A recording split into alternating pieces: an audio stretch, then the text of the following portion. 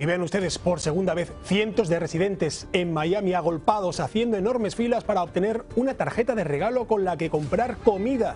Algunos acamparon desde la noche anterior en un parque de fútbol de la pequeña Haití. El incentivo económico es de 250 dólares y es parte de un programa de la ciudad financiado por la ley CARES.